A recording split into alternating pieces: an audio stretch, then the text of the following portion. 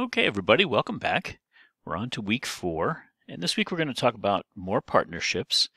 And this will all start coming together for you when we when we get to about week six or so, uh, when we start to specifically talk about problems in security and how to solve them. And understanding how all these partners work and what they can do for you is going to be critical to you uh, handling problems as a security manager, be it cybersecurity uh, physical security or some other form. Um, so we're going to talk about engineering, uh, which includes facilities, and then we're going to talk about IT partnerships. I don't go into as much detail with IT uh, for two reasons. Many of you have studied information technology in one form or another for several years now. Uh, and I don't want to bore you with the stuff that's so elementary that you'd pick right up on it. I think most people are pretty tech savvy and understand what IT does. I will go into it some, obviously. Um, but also, I'm saving some of that for you to do as some homework. And the assignment this week is a little bit difficult, but uh, I'll talk you through it. And then we're going to meet in person next week and we'll talk about it there too. So, what we hope to do this week is understand the basic functions of engineering facilities and IT partners. Um, we're going to talk about how those interface crossover. I'll use the term crossover quite a bit. Um, some of these things are risks that we share, others are synergies we share, others are opportunities we share. Um, and we're going to talk about how those functions might uh, impact the security manager.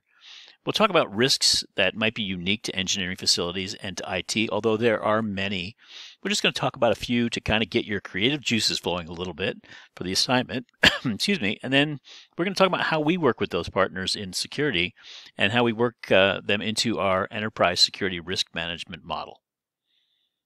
When we're done this week, our ESRM family, and I think that's the way to really describe it, is going to include security and human resources, which we studied last week, and then IT, engineering, and facilities. And we'll be adding more to the uh, to the table. Uh, but once we're done with this week, we'll have a a four person family and growing. So as I said, we're not going to list every function of every engineering and facilities department. That probably would take 50 or 60 slides and we can get very granular with that. But I'd like to talk about some high level ones that are generally um, in the realm of engineering and facilities, no matter where you work, be it a government agency, be it a office building, a research lab, a manufacturing plant for autos or cell phones or whatever. Generally speaking, engineering facilities, they build and design new buildings. So at some point, your company's going to grow and they're going to need a new building, or the building you have becomes obsolete. I'm working one right now in, in New York City. Uh, we've had a headquarters on 42nd Street and 2nd Avenue. I was just there um, for a very long time. We moved from Brooklyn, our original location, to New York probably 50, 60 years ago. And that building has become obsolete. It's very hard to heat and cool. Um, so uh, and expensive to do so. So we're building a new one in Hudson Yards, which is on the west side of Manhattan, and um, the engineering facilities people are knee deep in building design and construction, working with outside construction companies. Obviously, you don't want to have a full size construction company, you know, inside your company. You hire one, but they do that design and construction when you have to expand or move. They also do space planning, which is more important than you might think when it comes to security because they tell you where everybody sits. So can you imagine? Um, there are companies right now that are doing something called hoteling, where you come into work and you grab a cart with your stuff in it, and you go to any desk and you sit down and you plug in, and you take your computer out of your little cart. It's a locked cart, and you fire it up and you plug in your phone to the jack that's there, and your phone number is already programmed because it's a soft phone anyway, and you're good to go. Um, but all those cubicles are the same. Can you imagine in a building where you had um, executive offices in the corner, cubicles for uh, middle management people, and perhaps a open pen type uh, work area for others? Can you imagine if you just said just sit wherever you want? How many people try to get into that corner office um, with all the amenities that come with that? Um, somebody has to control that, and engineering facilities does. They also take care of all the repairs and maintenance, be it through your own people or through contractors right? Small company is not going to have a plumber on staff, but somebody's in charge of facilities and operations. And when the sink stops working, they call the plumber and they coordinate that and they pay the bill. Um, but repairs and maintenance can be a huge, huge issue, and including security equipment, cooling equipment for data centers and, and server rooms, those types of things. So repairs and maintenance is a huge part of facilities and engineering. We'll get into that a little bit. Um, capital project management. and I don't know if, how much you guys know about capital versus expense. I'll try to do it as simply as I can. Capital projects are very big projects that you deduct from your corporate earnings, if you will, over time. Um, let's say you you're a new company and you've been around for five years and your product's really taken off and now you're making a million dollars a year in profit. Very nice for a small company startup, right? Five years in. Um, but you need a building. You don't have one. You were leasing something and now you've you need to hire people in order to make that kind of money. Sometimes you have to spend it, right? And you had to hire people. And so you have to buy a building. Well, you found a nice building and it is $900,000. So do you really want to have on your corporate books when somebody comes to look and see how much you make that you make a million dollars one year and you only make profit 100,000 the next year? Because you have to deduct the entire 900,000 for the building you bought. In this way, and you don't want to take out a mortgage because then you have to pay interest on that. So you essentially write yourself a mortgage and you deduct the amount over a certain number of years so that your books don't look like you took a major hit or the business went bad. That's only one of the reasons. There are certainly tax advantages to capital versus expense. Um, but capital projects, just in, in our terms, just think of them as big ticket items that you need that directly impact, impact your product or service. So if you are an IT company, if you're Google and you build a new Google data center, that would be a capital item. It directly impacts your product or service, and it's a big ticket item over, you know, millions of dollars. Um, so capital projects are not small things like renovating a room or painting an office. It's building buildings and building large facilities and buying big pieces of machinery. They also handle utilities management.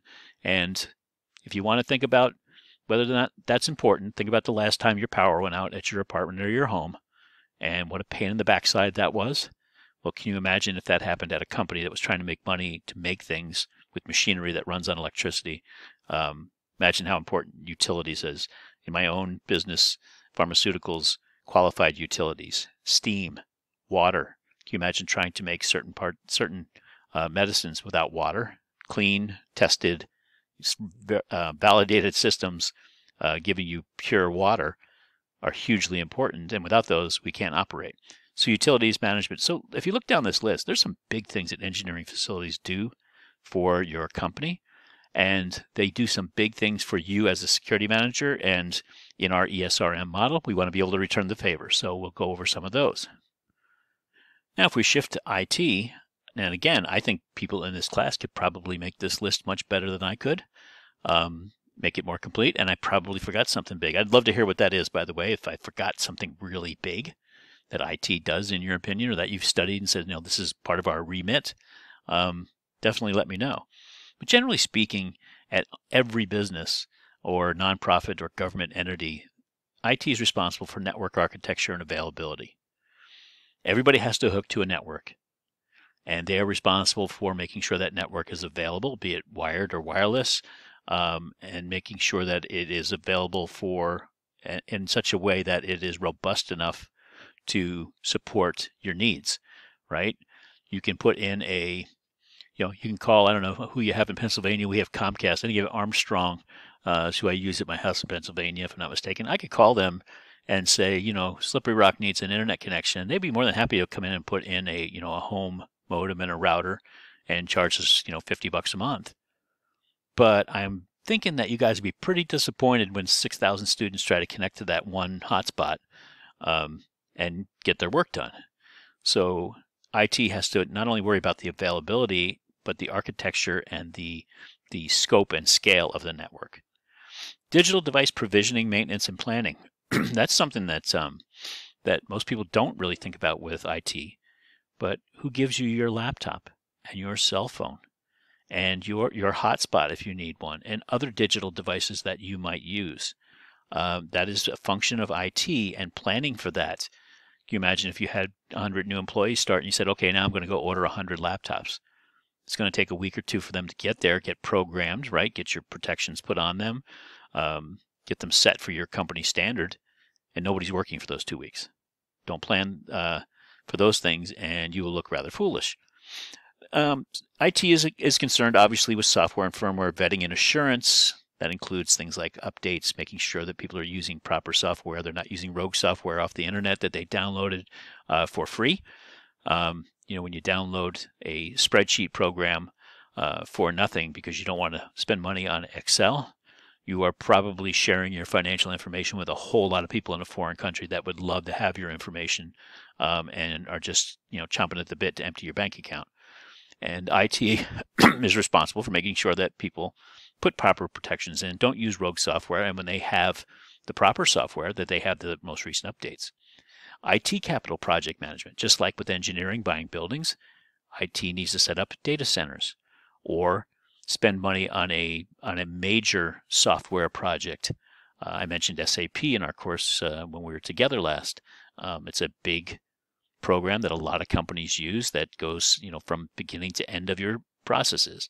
It counts your raw materials and prints your checks and then takes care of your process automation for your manufacturing if you have manufacturing and then it takes care of all your shipping takes care of all your your billing to your customers all in one continuous program so that you can see as you move along someone with the right permissions can look and see you know whether or not you have you know cash coming in enough cash flow to, to, to handle operations those types of things in one package that would be an it capital project for sure because to do that for a mid-sized company you would probably spend a million dollars but being able to have a great visibility and have all those tasks done by one system is a cost savings as well.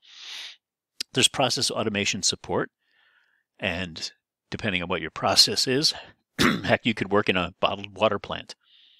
But there is a automated process that makes sure that exactly 16 ounces of water go in those bottles. You don't have somebody with a measuring cup, right, pouring it in.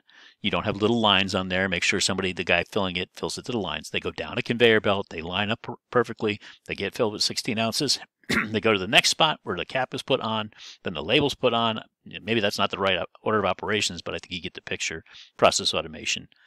Um, and then cybersecurity, or I think it's more accurate to say digital integrity overall, because it's not just protecting from outside, it's making sure that you don't have insiders who are improperly using your systems.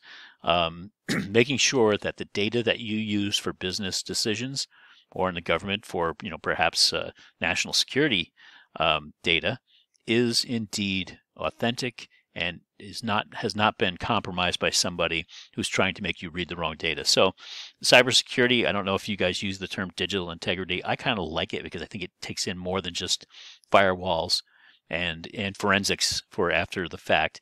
It takes in everything to make sure that your data is indeed pristine and usable for what your purpose is. So how does this impact the security manager? I mean, we talked about what IT does and what engineering does, and security doesn't do any of those things. So, you know, heck, they can be down the hall doing their thing, and I'll be, you know, at the other end of the hall doing mine. Unfortunately, success doesn't come that way. Anything they do impacts you, and anything you do may impact them. Um, let's think about some of the risks associated with each too because one of the things that a good security manager can do is help identify risks. Now, again, we talked you don't own the risk, and the partners are supposed to bring those risks to you. But you've got to start thinking about how you're going to prompt them because the first conversation you have with somebody in another department saying, you know, what's the what are your big risks? They're going to say, well, you know, I guess somebody could steal my stuff. I mean, they're not going to be, it's not that they're not forthcoming necessarily. They're not going to really speak the same language as you when it comes to risk. So there are some things you need to think about with those functions that we outlined and other functions that you can probably think of. What could be some risks, some crossovers, some things that, that match up with what you do to help protect the enterprise? There are very few places more important for using enterprise security risk management than building design and construction. That includes new construction and renovations. Um, every time a building is modified, a new risk or vulnerability assessment needs to be done. And generally speaking, you will find, especially if there's been any penetration of the outside of the building, um, you'll find new risks have been opened up. So, you know, you're building a new building. Okay, well, what's going to be stored there? You have to ask that question. Why are we building this building? What are we going to put in there? Um, you know, the the example I gave when we met. You know, we built a, a pole barn warehouse somewhere here in, in the US. And when the security manager asked that question, what's going in there? It was uh, a huge amount of Paxlovid for COVID. A huge amount. And it was like, wait a minute, you built a pole barn, right? Uh, you can cut through the side of that with a sawzall. I don't know if you guys know what a sawzall is, but if you watch any home renovations, it's the thing that looks like a machine gun, and then they, they touch it to, to anything, it just cuts it in half, right? Pipes, boards, it doesn't matter. This thing, but it doesn't make a clean cut, but it will definitely cut stuff. And you could do that with the side of one of these pole barns. It's just sheet metal on the outside. So it was like, no, no, you can't do that. So prompting that discussion, what's going in there, is was just enough for us to make a uh, decision that, from a security perspective, this was a really bad idea. But when you build something new, or you're going to build and you're planning something, it's a valid question to say, well, what else is going in there? Right? We're going to put in there. We're going to put materials. We're just we're just going to store, you know, old desks and, you know, um, you know, some building materials that we have. It's just a it's just a barn to store excess stuff. Okay, and what else is going in there? Oh well, you know we're going to park the we use Gators, right? John Deere Gators, those those four four wheel drive things that are really cool and fun to drive. Well, we use those for the grounds. We're going to put those in there. Okay, well those run about twelve thousand a pop for a good one. Let's say we're going to put five of them in there. Now you're not talking old desks and used building materials anymore. You're talking sixty thousand dollars worth of vehicles that actually are desirable and it doesn't take much for somebody to steal one, put it on a trailer, drive off with it, give it a little paint job, and you'll never see it again. So you've got to ask what's going to be housed in the building. Did the renovation make a protected resource more vulnerable? So now we're talking about an existing building where you've done all your your security stuff and you've got you know your perimeter set up properly and you've got you know your important stuff in room A and some more important stuff in room B and you've got them protected with cameras and card readers and things. But if somebody goes in and makes a renovation because they're going to make room A bigger, that may require them to put in another emergency exit. When you make things bigger, fire code changes and you may have to put another door in. Well, when you put a door in and you don't protect that door, haven't you just opened a major vulnerability to room A? You certainly have. Because all of a sudden a door shows up. Now, I have seen that happen. I have seen renovations, even minor modifications in a, a server room where the IT folks have put additional racks in.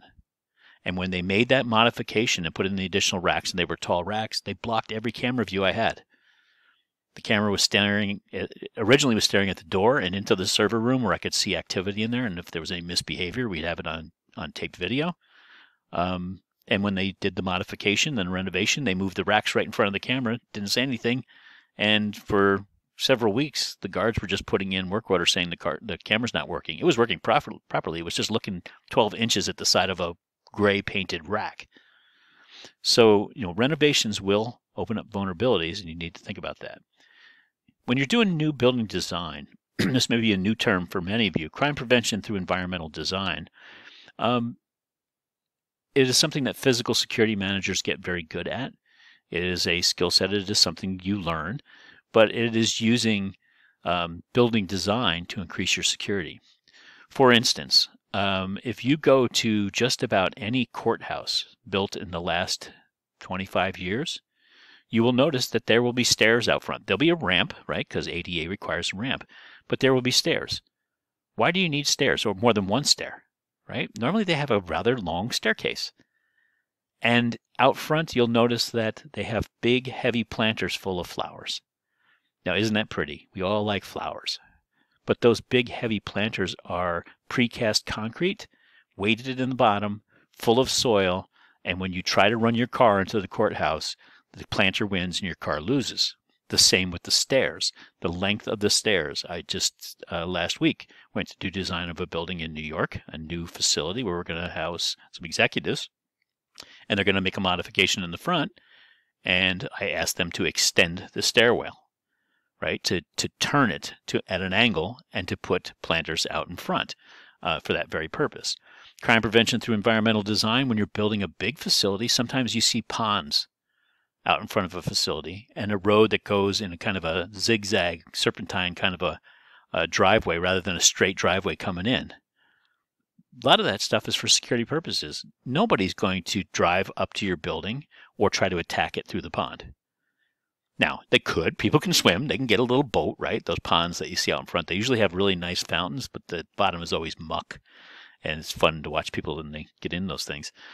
But the, the generally speaking, those things are designed so the roads that turn when you go into a you know a long driveway, that's meant to slow you down. And it's slowing you down for security purposes. It's slowing you down in some cases so that we can get more camera angles on you. Along the drive, there may be cameras so we can see from different angles. If you're just coming in straight, it may be hard to see what's in the back seat. But if you're coming at a turn, now you've turned the car and I've got my camera angle to the side for a little bit longer than just if you drove by it. So crime prevention through environmental design is just that. You're trying to reduce crime by designing your buildings, your facilities, even your city, the way it's laid out you can lower crime by designing it right, and that comes into building design and construction. You need to have a, a seat at the table for new construction. Okay, whatever type of security manager you are, if you can get a seat with engineering when they have new construction meetings and they take a very long time, doing one round. Now the spend is $480 million on a new facility. We will have these planning meetings for three years before anybody ever swings a hammer or uses a backhoe to dig the first dirt so that we can work together to properly secure the building before it ever goes up. And if you don't have that seat at the table, you're going to get handed a building or a system or something that has no security protections built in whatsoever, and you're starting from scratch, and it makes your job much harder. So, very few people think about space planning and where people sit as a security issue, but it certainly is. Think about executives and human resources, medical, if you have an occupational health, you know, company nurse those are vulnerable partners, executives, companies that have, uh, you know, that don't do well in the news or have a controversial product, a product line. Those executives have, generally have executive protection.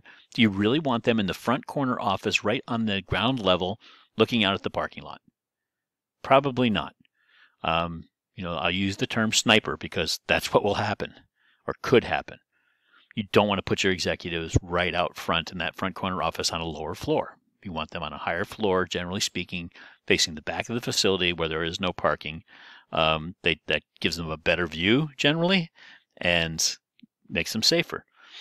HR, same way. Do you want to bury your HR? We, we talked about HR and hiring and firing, right? HR always assists with terminations. They generally sit with the manager when someone is terminated. Now, would you want your HR department to be way down deep in the basement of your facility, about uh, 200 yards from the, from the outside walls, right in the center? Or would you rather have them on the fringe so that when somebody gets terminated, you can say, okay, Brian's going to walk you to your car now. We've already cleaned out your desk, and he's got your, your personal stuff in a box. If there's anything missing, let us know. Uh, we'd be happy to search for it but all your pictures of you know little Johnny playing baseball and your your car keys and your coat and your lunchbox you brought in is right here in this box. And we're going to walk you out and we're going to that door right there because there's an outside entrance. So now HR, space planning, you want close to the outside. Medical, think about the company nurse. Uh, you know, as the oldest member of our cohort here, since you are all young and beautiful, you got a guy like me who's in the office, and all of a sudden I'm not feeling well. And I grip my chest and I go down to the nurse's office and I say, I don't know, something's wrong here. Uh, boom, and I hit the ground. How far from the outside door do you want me to be? Well, don't answer that question. How far from the outside door should I be? Right? You want me close? You want to make sure that there's unobstructed access to me, right? You don't want the you don't want the uh, the guys with the gurney to have to get on an elevator with it because the elevator car may not be big enough for all the equipment they're bringing up. You don't want them to have to turn all kinds of corners. You don't want to have to wheel me through the cafeteria to get out. So medical needs to be in a certain place. And there are many other.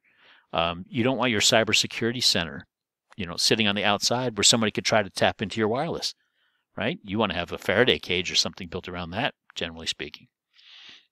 How about cube farms? You've all been in, you know, you've seen, I imagine most of you have seen Office Space. It's one of my favorite movies. But, you know, everybody's sitting in a cubicle. Don't, you know, loose lips sink ships, right? You and I are having a private conversation about some big project coming up, and, you know, Bill's on the other side of the wall listening right in. Should some functions have enclosed offices for security reasons? Doors, windows, window film. There are window films you can put on that make it impossible for you to use a listening device. Um, if anybody's interested in that, I've got a guy who's a former Secret Service guy. He'd love to talk to you about the stuff. He's doing a project on it now, and he can tell you what he's doing. Um, but if you think about cube farms are very common, and from a, from an information security and from a from a theft perspective, they really are a, a terrible idea. But they are very efficient, you can pack people in and use less office space, and they're easy to heat and cool because you don't have individual rooms. So engineering likes cube farms, generally speaking. So, you know, as a security manager, you need to work with engineering to talk about whether or not those are a good idea. And how about the space for your own security needs, right? Uh, you read an article on UL listing, and it talked about how a security command center needs to be, you know, interior to a facility, you know, with a floor it needs to be on, the amenities it needs to have. Um, if you don't coordinate with engineering on space planning, space assignment, and space needs for yourself, uh, you definitely, again, are doing work twice. When we talk about repairs and maintenance, it's a great opportunity for security, especially, especially physical security, although also for those in information with automated systems to work hand in hand with engineering in an enterprise security risk management and an enterprise uh, engineering preventative maintenance type stance right? Again, we're, we're kind of looking at this holistically, right? I will tell you that repair shops are theft magnets. Okay, cafeterias, supply rooms, and repair shops. Why is that? Well, people like food, people like batteries and tape, and office supplies. And in repair shops, there are tools, um, people working on things from home. You know, I need to go work on this. I, I, you know, had all the tools I thought, but I need a drill, and my drill busted. I'm, you know, I spent all my money on materials. They go steal a drill. They really, uh, they really are a theft magnet. Many large repair shops have things like piping. If you're in manufacturing, you may have copper pipe sitting in a rack. Well, copper has value, a lot of value, by the way. Um, and we'll talk about that when it comes to construction sites. Um, but if you can properly secure the repair shop, put a card reader on it, special lock on it, camera to see who's going in and out, you actually make friends because the repair shop guys you know, the last thing you want to do is you're working on a plumbing project and you're almost done. You need one piece of copper pipe and you go back and find out it's all been stolen. Right? You can help prevent that and make friends and influence people that way. Um, is there a way for security patrols to aid in the identification of minor repair stuff? Right? You've got guards. You you know that when when guards are in a large facility, they generally do watch tour rounds. Right? They walk around in a set pattern or a random pattern, but they go to, to each area every couple of hours, right, to cover an entire facility. Well, that means walking through mechanical spaces. And as you probably can imagine, there are lots of mechanical spaces in big buildings. Every building at Slippery Rock uh, University has some kind of a mechanical room, and some of them are really large. The big buildings have, you know, gosh, I mean, they've got uh, a, a uh, electrical distribution and heating and cooling systems and everything. Um, many of them have belts and dials and readouts. The guards could work with engineering and say, you know, we're there every two hours. Why have somebody else go do that? And then there's the opportunity to train professional uh, maintenance people on security stuff, right? Um, it's not unusual. Do you really want to call a locksmith every time a lock goes bad if you have a maintenance guy who's pretty handy who can learn to be a locksmith? So, you know, working together with engineering um, security has some real opportunities there to to save some money, to save some time, and to to better protect the enterprise overall. Now, in capital project management, um, if you're building a building, you know I mentioned copper. Well, when you bring in when you put a new building together, uh, it used to be you just had to put in electric and the telephones, but now you're putting in all kinds of network cabling, right? Uh, you, you Cat 6 stuff going everywhere. You've got uh, Romex cable going everywhere for electric. You've got all kinds of cabling, and a lot of it is either copper or other precious metal, depending on what you're putting in. And it's not like they're bringing in extension cords, guys. For a big building, you have six foot tall or four foot tall, depending on you know where you get it, what you what you need it for, rolls of this wiring, and it disappears off construction sites because it is so easy to fence, right? They strip it out the plastic, they've got pure copper, and it's easy to sell. And copper, all precious metals are up right now, at least uh, at least this year, um, and so it's a very lucrative business to steal. On a capital project, you're going to have to put guards on stuff. It means that when they when they put a building together, they're still working on the inside. The building is open a good portion of the time. Do you want people wandering through for safety reasons in the middle of the night? Um, when you have when you finally get the shell up and the doors closed, you're still going to have to open them up for prolonged periods of time to bring in equipment. And then the rest of the stuff you've already brought in is vulnerable because somebody could wander in and steal that and take it out the same door. So you're going to have to have the cost for guards and those go against the capital project. But again, you're working hand in hand with engineering to say when are you bringing stuff in, what are you bringing in, and then what's the impact if that stuff disappears. Now they may say that you know, look, the wiring we're bringing in here, you know, wiring's pretty easy to get.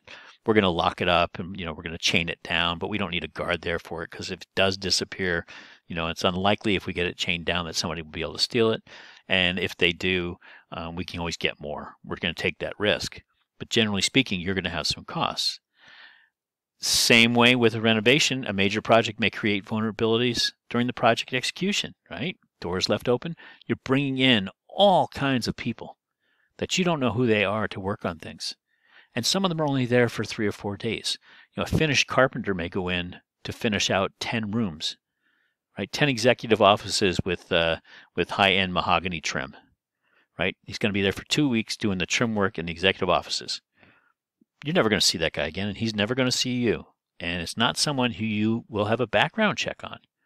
He's coming in from a service, and security may need to understand where he can get to. How do you lock them out of certain areas, right? And then the term turnkey project, and I don't know if you're familiar with that, but a turnkey project is like um, building a house right? You go to one person and you say, build me a house. you sit down with them, you tell them what your needs are, they show you the blueprints. You say, "Yep, that's good." You pick out your colors and your finishes and your your carpets and your flooring and um, you know what types of windows you're going to have, all those types of things, and then they take care of everything. You don't have to go out and hire a window guy and a carpet guy and a flooring guy and a guy to put the door and hang the doors straight and somebody to paint the inside. It's all done turnkey. You pay one one person, they take care of everything. Turnkey projects, once they're signed, that's what you get. So if you have a project, if your engineering department says we're going to build a new new building, an important question to ask is is this turnkey or are we doing it, you know, piece by piece ourselves? Are we bringing in different people to do things? Who's managing that? And if it is a turnkey project managed by an outside project management firm, you definitely want to be in on those conversations because once they sign a contract to say, this is what we want, that is what you get. And any changes are going to be expensive and hard to sell. And so, again, that seat at the table is really important in that game. And finally, on the engineering side, you've got utilities maintenance. If you shut down the utilities, you might shut down everything. So, you know, power goes out, power goes out, unless you have a big generator, which many companies, many businesses do. If you drive around the back of many commercial buildings, you'll see a big generator. It's a generally a eight foot, nine foot tall box, probably about eight by ten uh, footprint, metal box. It'll have high voltage on it. It's a generator. It runs on a in in the ground tank normally of of uh, diesel fuel, and it'll run for X number of hours. But wouldn't you want to make sure that that's protected? Because if the power does go out and somebody has, you know, jacked around with your with your um, generator, then you're not going to have any power, and you spent all that money and time, and you planned on having that generated power to keep your things going. So there, right, right, in and of itself, is a security concern. Is the generator protected? Do you know if somebody approaches? Is there a camera on it? Is there a fence around it? Um, how about utility feeds? Interesting uh, I went to a site in uh, somewhere in Iowa. Can't remember even where it was. Elk something. Uh, you know, small town, two pumps and a clean restroom, and a warehouse where they were uh, housing and distributing medicated feeds for farm animals. It was a division of the company I worked for. And when I got there, I asked one of the questions, what about utilities? Where do the utilities come in? Do you have more than one feed?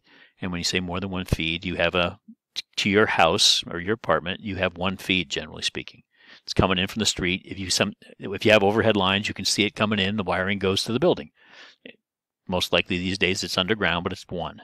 When you have a major commercial facility, you want multiple feeds, just in case some, suppose somebody hits that pole, right? That is coming in on, and the power goes out. Well, now you got to wait and get power when somebody can erect the pole. But if it's wintertime, the ground's frozen, you can't put another pole up. So it's going to be a while.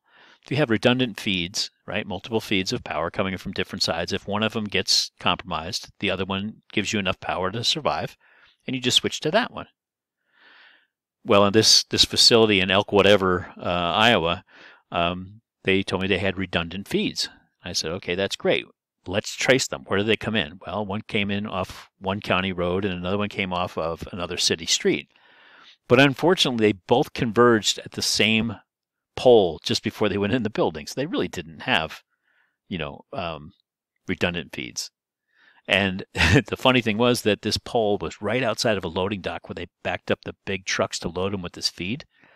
And every truck that backed up, because they only had like a single bay dock, every truck that backed up came within four or five feet of that utility pole.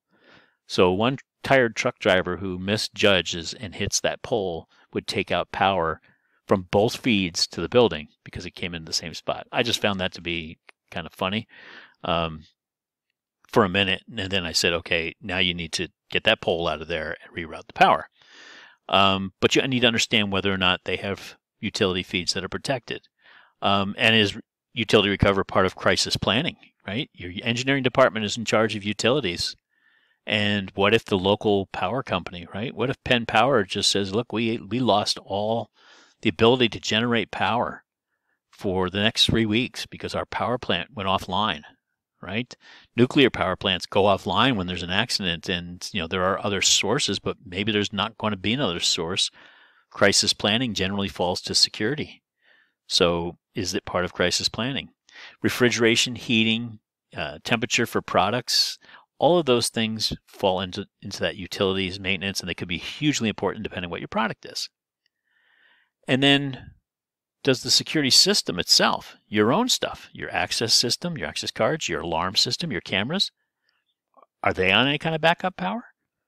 You know, oftentimes the, the utility people have the generator and they only hook it to what they consider to be critical. So it may be used to run the, you know, the lights and refrigeration and they've sized it so it runs the heat so you don't freeze yourself out of there in the wintertime if you have electric heat or electric uh, blowers on heat. But it was never sized to handle the network or to handle security cameras, which may be on the network or maybe on its own backbone, or access systems.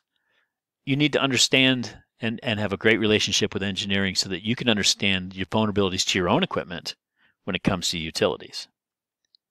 So let's take these things real quick. I'm not going to belabor them, uh, but let's take a look and see how these these things, these different functions of engineering, might impact others, not just security, or all tie in together with the rest of the ESRM family.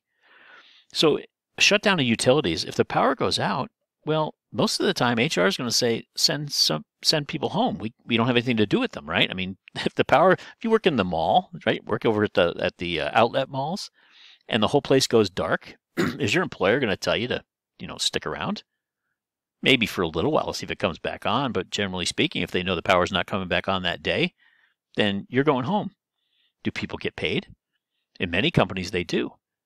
Once you've arrived at work, if you're sent home because of a facility issue or a production issue, whatever, you're guaranteed X number of hours of pay or a full day's pay. But HR has to worry about paying people, right? As does finance, right? Just in time deliveries. What about when the power goes out? We're back, you know, we're, we're at that shutdown of utilities and trucks show up and they want to unload because, you know, you've got uh, materials coming in and you can't get the doors open. Overhead doors are electric and you can't get them open or you can't see or you can't run the electric forklift, right? Because it isn't charged. So you can't you can't move it. Well, I mean, there are so many things. Same with security. Can I operate my security control center?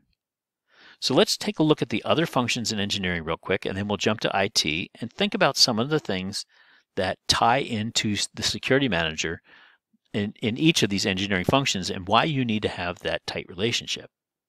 So in building design, you know, protecting employees, deterring costs associated with vandalism. If you build the building right, certainly a tie into security there. As we talked about, space planning, protecting of the executives. And if an executive at a, at a major corporation gets kidnapped, or even if someone gets into their office And I have seen this at other companies, and I've actually seen a number of kidnappings uh, of executives. Generally speaking, that happens in Latin America. It's very big business there. Um, and most of the time, they kidnap an executive and they either take them to an ATM. It's an express kidnapping, it's called. And they take them to an ATM and have them empty out their bank account, take that money, and then release them. But they target them because they're executives. Or they ask for a ransom that is more along the lines of the local economy. So uh, Shell Oil had a um, executive kidnapped in Mexico, and the kidnappers demanded a ransom of twenty-five thousand dollars. And you know, my my counterpart at Shell laughed and he said, "Gosh, if I if I was thinking, I would have said, okay, I'll pay it, but you've got to deliver them into the United States because it was cheaper. Twenty-five thousand was was less than sending a corporate jet to pick him up." Um, but space planning and space assignment could, you know, could compromise your employees, put them in a position where they could get hurt. Um, repairs and maintenance, if you you can't produce without uh, with bad machinery, employees might get laid off. Profits drop when people are laid off. They tend to not like the company, and then as a security manager, you've got the threat and the risk of an employee coming back, blaming the company because they're losing their house because the place wasn't well maintained. And the same thing with capital equipment. You could run into tax issues, workers are idle, and again, that all of those things add to the security manager's woes. I'm sure you have lots of questions on this stuff, and there's a few answers out there, but you're going to build some of those as part of your assignment coming up. But it's important that you build an authentic and synergistic relationship with engineering facilities. The good thing about it from the physical security side is generally speaking, uh, I well, I can't say that. I would say often physical security managers report into engineering and facilities because it's considered a facilities function. They may also report to other functions like safety, um, sometimes to IT if you have a converged security program, both physical and cyber. Um, but um, for the most part, security, physical security, is considered a facilities function. So a lot of times you report to them, but you have to have that relationship. Okay. And in order to build that relationship, just let me give you a quick hint. Engineering people need to get around the facility. They need to get around the facility efficiently. And I will tell you that I've seen many security managers tell engineering people, no, you can't have access to that. No, you'll have to go around. No, you can't cut through there. We don't allow that. Look at these things as one offs and understand whether or not telling that person that they can't do something is going to hurt you when it comes to that relationship that you so desperately need to be successful. If you are the security manager, you can make exceptions. And this is something that we talk about in physical security courses all the time is that, you know, people become very rigid. No, only people who work in building 300 can have access to building 300 to get in. The maintenance people that work over in building 200 can't have access to there well, maybe this, the tools are sto- stored in 300. Maybe the person in 200 needs to go help the guy in 300 fix something. And when they ask for access to the building and you say no because you're rigid about it, you will lose and you will lose that relationship. The guy with the wrench matters. They really do. They will make you successful or make you a chump because they will do things. To, you know, all of a sudden your security control center goes dark for a few hours. Oh, we were testing the generator. It didn't work, so it went dark. Well, nobody told me. Oh, we you know we we forgot. Build those relationships. Make sure that you have them in place. Let's talk a little bit about IT, and then I'm going to tell you what the assignment is because you're going to help fill in the blanks on the IT side. I think you guys are up to it, and if you fall flat on your face, so be it. That's why we do it, so that you fall flat on your face here in class rather than at the real big guy job. So as we started off, these are the basic functions of IT. You saw this in the same slide earlier on. Um, just to refresh your memory, again, these are just six functions. There are lots more, I'm sure. And I honestly would love to have your input when we meet next to say, hey, you kind of forgot about this and you kind of forgot about that because uh, that only helps me become a better security professional. And then maybe we can just use those things to talk about um, when we meet uh, about how to how to figure out what those synergies might be. So here's the six functions that we want to talk about. So in network architecture and availability, especially in new construction, IT is going to be responsible for ensuring the, the, the networks are right sized. Voice, data. I mean, can you imagine if, if somebody didn't plan that, right? IT plans And this is how they meld in with engineering and maintenance, right? They will plan the size and the scope and the scale and the route of the network. They also then are responsible for uptime on those networks, and I'm sure you guys have have uh, um, talked about that in your other classes. Continuity plans are going to tell us what functions are critical and restored first in an outage. So business continuity plans a lot of times fall to security. There's a little tie in there. Um, but uh, the IT folks need to determine what comes back first. When things go down, what comes back first? Is it you know are the are the lights all on sensors and the network goes completely down and you need to fire it back up and you need to fire it back up in stages? Well, what are you are you running building systems?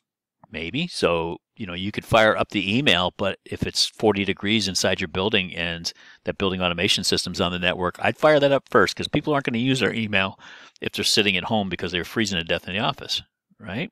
Networks need power. And IT and others determine what functions need backup power. Just like we want to um, um, generator coverage for our security control center, they want it. And they're going to help determine with others, you know, what stuff is critical when it comes to the network.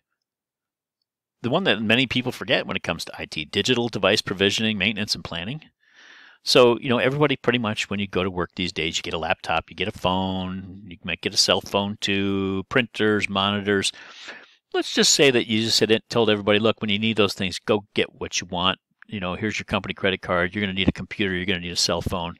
So basically, you know, I get a MacBook Air and you get a Lenovo uh, Windows PC, and I get an iPhone and you get a Galaxy flip phone running on Android and can you imagine how much IT infrastructure and software and testing you would have to do if everybody just chose what they wanted? I mean, heck, somebody could say, I really want a Blackberry. Now you've got to set up security for Blackberries again, right? Which they are still alive, believe it or not. Um, they also work on the lifecycle management of digital devices. Can you imagine if you worked for a company and they said, okay, well, you know, you, you have an iPhone 13 and you got it, and now the iPhone 14 is out. Oh, well, I'm going to get a new one of those. And everybody ran down and got a new one every time they wanted to. The lifecycle management program normally will say that IT has determined that you need a new cell phone every two years or every three years or every year, depending on what your company does and you know what the functions are. But you don't say every time a new model comes out, run down and get one and then, of course, you have to worry about, you know, vetting that for your network. And then the break fix and response time decisions on digital equipment. What gets fixed first? I will tell you that if my laptop goes down at the same time the ones in finance do, finance is going to get theirs fixed first. That's a really basic, you know, use case there. But the digital device, that device provisioning, maintenance, and planning all takes those things into account and understands what goes first, when people can get new stuff, and what stuff they should be getting, what the company standards are. Software firmware vetting assurance, so licensing and version updates. Um, I in in the security world, I can tell you that oftentimes local security managers will not get the updates that they they, they just don't opt for them right they may pay for them out of their own security budget and the security system that runs their cameras comes out with a new version of software. You know, you were on 5.0, now we're coming out with 5.1. They say, eh, I'm not going to spend $5,000 to get 5.1 installed. I'll just skip that one. And 5.1 happens to have the patch that fixes the cybersecurity vulnerabilities for whatever. If if IT did not keep a handle on those things and mandate that people keep, you know, up to date on licensing and versions, the average uh, worker would not do it we don't we don't always update. I mean, you guys may, but I will tell you, I have nightly updates on my on my uh, Apple computer. But I have other devices that I just go in and I do the updates when I see one. Uh, updates on apps that I use on my phone. Um, you know, if you don't go in and set it to automatic, once you go in, it'll tell you you have 37 apps that need updates, and then one day you just wait and sit for 20 minutes and let them load. Right? IT is responsible for making sure that people don't do stuff like that they make sure that we only own one type of stuff. Can you imagine if I liked uh, you like um, um, you know Outlook mail, and I prefer Gmail, and somebody else likes, uh, you know, uh, oh well, I I prefer this type of mail client. Can you imagine if everybody picked their own tools? Making sure that everybody uses the same software and, and firmware tools, right? Same software tools, especially, is important function of IT. And then building and bundling suites of those products when possible right? Anytime you can buy a single, like like Office Suite, right? The Office Suite of products. People buy that because it, it covers so many things when you buy that one suite of products. But again, if everybody went out and bought Word, then went out and bought Excel, then went out and bought uh, Access, and went out and bought this and this and this and this, it would get become extremely expensive. You'd have multiple versions of, of things running on people's machines, and IT is responsible for making sure that we do the right things when it comes to buying software and products and tools that we're going to use digitally so that they are fit for purpose, that they are acceptable on the network, and that we only have the minimum number of them that we they absolutely need because why would you have more than you need? IT capital project management, right? The long-term spending on infrastructure if you don't update your infrastructure, if you don't make it scalable, if you don't make it grow, then your company's going to eventually run into issues with with uh, uh, bandwidth, if nothing else, right? So IT capital project management takes care of the long-term spending on the infrastructure to make sure you have everything you need when you need it. And then they coordinate with other functions like security, physical security, in support of capital projects with a digital need. So when I go out and buy a visitor management system, which I just bought that I'm going to use for 140 locations, and it's a software as a service, it runs about $2,000 per year per location. So we're looking at, uh, you know, 300, 380,000. By the time you're done, we're looking at half a million dollars a year for a visitor management system. You know, it's a big company and it's multinational but I need IT to coordinate that for me because there are different uh, different rules in different countries. Uh, there are ways it can be hooked up. Does it run off of our server? Does it run totally off of somebody else's server? All those types of big projects. They're not just IT projects. They are projects that others are doing. You know, an, an automation project to automate some big piece of machinery is not really an IT project that helps the IT infrastructure, but it helps the business. So IT capital projects take in both infrastructure and then the needs of others. Process automation, two sides really to it. Manufacturing support, the types of computer aided processes that help you make your product or service. And then facility support, building automation systems that keep air conditioning, heating, ventilation, air conditioning, water systems, um, cooling systems of other types, right? All those things running um, process automation support is a basic function of IT no matter where you go. Uh, it's quite lucrative too for those of you who are you know getting into that type of of, um, of field. Uh, don't uh, don't just look at um, you know other types of automation and other types of, of information technology. The information technology around automation support, even facility support, is very lucrative because there's it's done everywhere. Everybody has automated systems that that control their buildings. And that is a huge function of IT. So, cybersecurity or digital integrity, I'm going to preach to the choir here. You guys know this stuff better than me, most of you in the class anyway. And for those of you on the on the physical security side, these, these are just some of the basics, right? Firewalls, password protections, access and identity management, the digital side anyway, right? Um, you're making sure that only people who have proper training and need can access your network, just like in the physical side, we make sure that only people who have the proper training and need can access our physical um, assets. Penetration testing, right? Testing to see if hackers can get into something. Pretty much it. I mean, I'm sure you have a much better definition than I do, but it's a basic cybersecurity and IT function at many companies. Virus and cyber attack monitoring and protections a little different. Now you're just watching the network, right? You've got systems that are monitoring the network and seeing what's hitting on it. Um, I think I had somebody in our uh, cybersecurity department say they get uh, 10 or 12,000 uh, rogue hits on our network a day. It's an incredible amount. It could be more than that. Uh, I will check on that, and hopefully, I'll have that number for you when we meet next week. Um, but it's an amazing number of of people, entities, um, and automation that's hitting the network, trying to attack it on a regular basis, and IT takes care of that. And then cybersecurity or information security awareness, right? Making sure that employees understand what their responsibilities are and what what types of things are going bump in the night that can hurt them. Certainly part of that overall digital integrity cybersecurity type program with IT. So those are the basic functions of the IT department. Again, for those of you who are studying it, um, you may know more. Um, and if I got anything wrong, I'll apologize and you can tell me about it. But I think these are just the basic functions that most people associate with IT in a business. So let's go through, just in brief though, because uh, we're only going to do two of them, the same exercise. When we talk about uh, IT as an ESRM partner, there are shared risks and shared mitigation opportunities. Um, think about the types of IT services that the physical security manager might use. Uh, you know, how important is that relationship with IT? And I will tell you, it's critically important. So much so that I generally spend in a 40-hour week, although I don't think I've ever worked a 40-hour week in my life. It's been closer to 50 or 60. Um, but I generally spend about 10% of my time working with people in IT in our digital space, um, simply to talk about my own systems and what we need to do to keep them up and running and protected. Um, so let's talk about how you can you can work ESRM into that relationship with IT in just two of those instances. So the new construction, the new construction that we talked about, uh, IT is responsible for ensuring the communications and voice and data networks are right sized. Well, I will tell you that video systems, camera systems, are big bandwidth users, especially if you're bringing them over, um, you know, large distances. The, the the cameras today are getting better, but they don't package data very well.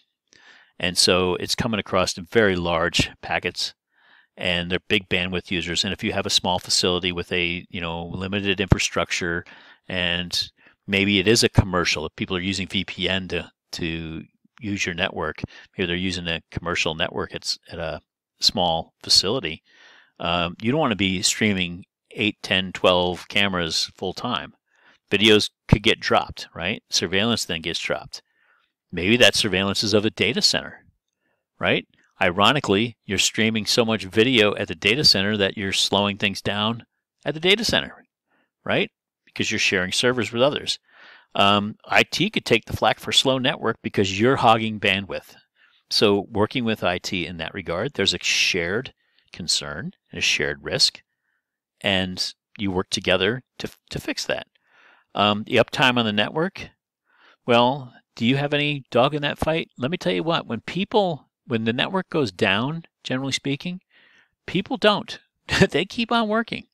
They just go ahead and use their home network or their hotspot on their phone and use their home email to send important and sensitive documents around the world.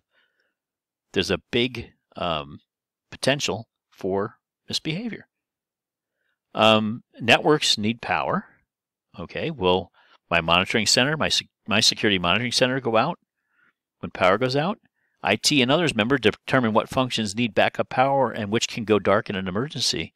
Um, could it be that, ironically, when they say, well, we don't need to worry about the security cameras, you know, if it goes out, well, the security cameras are monitoring IT areas.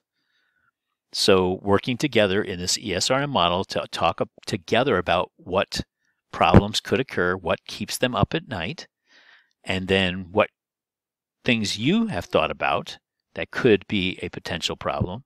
Working together, you can solve that problem and both be happy with the result. In that, you know, maybe you have to adjust your your bandwidth on your cameras. Maybe your frame rate's too high, and they can help you with that. And then you're you won't have to worry about bogging the network down. It's just an example. Let's look at one more, and then I'm going to tell you what I want you to do for homework.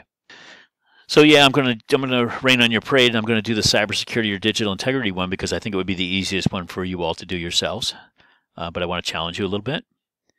So when we talked about cybersecurity, we said firewalls, password protections, access and identity management, digital access and identity management is all part of that game. Well, I have identity management to worry about too. Do I not? Physically? I mean, I want to make sure that the person who is coming into my building is that person. So maybe I can partner with the IT people to say, you know, maybe we have after hours a card reader that also requires people to put in their network access code, right? Their password, their network ID and their password. There are such there are such things to get in certain areas. Now we're merging our need for access and identity management. Um, cameras and card readers that are used in physical security are edge devices now. They really are. They're an IoT device. Um, they all have passwords on them. I mentioned this to you last time we met. Um, it's a horror show. Passwords are seldom changed on those things. Again, a risk that is shared by IT because the network could be compromised because of something that the physical security person did or did not do. Um, one thing that uh, that is uh, probably not known to most of you on the physical security side in investigations, we spend a fair amount of time out on the web, right? Looking for people, looking for clues in cases, looking for at people's social media, and on the dark web looking for people wanting to buy counterfeits, people who are selling stolen property from our businesses. If indeed we don't work with the IT people and we do that on our own, can you imagine what the vulnerabilities would be if I sat at my desk and just started, you know, loaded my own Tor browser and just started going out there looking at the dark web to try to, you know, uncover uh, counterfeit products and didn't tell the IT people? Um, they would never know that I was out there doing that until they got attacked, most likely. Um, so coordination again on those common things that you need and the things they can help you with as you're discussing the things that keep them up at night. Both functions really are responsible for security awareness, be it cybersecurity awareness or physical security awareness, personnel security awareness. And maybe there's some opportunities for convergence in that space where when you're educating people, you only have to do it once. You give them the spiel about their security, whether they're online or they're in person, right? And do it in one converged way. That is a way that you can work with the IT people to solve both your problem and their problem, which is getting people to understand vulnerabilities and how they can better protect themselves and the company. So, you know, from a from an ESRM perspective, that relationship with IT is hugely important and it's very synergistic back and forth. They need to help us protect ourselves, and we need to help them protect themselves. So, a long lecture this week and a little bit tougher of an assignment this week, but then next week we're going to meet in person and we're going to go over it again. And I won't grade it until um, you still have to have it in on time, but I won't grade it until after we meet if you may want to make some tweaks to it or better understand it. But I want you to take a, a shot at it. So, you're all done with the lecture. There were a couple readings. There were about security facilities. Um, that you might find them boring if you are not a corporate security major, and even if you are. But I think if you're going to be a safety person or a cybersecurity person, understanding how UL sets things up and how engineering plays a part in the success of setting up a security command center is pretty important. There's a discussion. It's not easy. It, there, you do need to put an initial post, which will be an essay at 5 p.m on Thursday, and then response one response this week to somebody is due on Sunday at 11:59 p.m. In that assignment, you're going to take two more of those slides. What I did was when I was going over the slides, I told you what the functions were, and then I went back and told you about some of the synergies, some of the common concerns, some of the ways that security managers work with people on each one of those functions. And we have three more or four more functions. I think there's four more functions in IT that we did not go over like we did the last two to talk about them in detail. I would like you to add the detail. So what you're going to do is take a couple of those slides, and I've numbered them, and you can pull them off of the uh, the slide deck that I attach. And I want you to go through the slide and add in the bullet points just like I did back like here, right? This was the original statement that was in the slide on network architecture. And then we talked about some of the risks. Right? What what are those risks? What are those common synergies between the security department and IT? And we talked about, you know, new construction, they have to make sure that communications is right sized. Well, you know, I've got communications, I've got video systems that, that are big bandwidth hogs.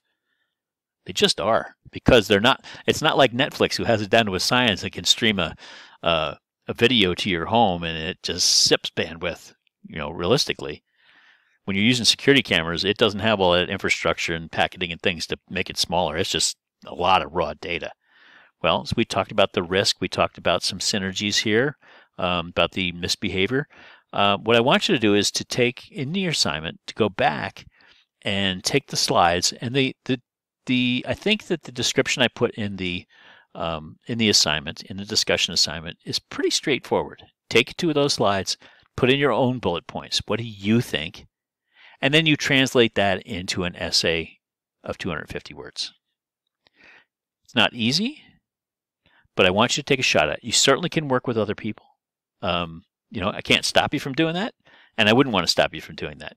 I would ask though, if you are going to work with somebody, work with somebody else that's in the class now, rather than go back to somebody who took it before, because I will tell you they didn't do this assignment, and now you're trusting them to test to trust their memory.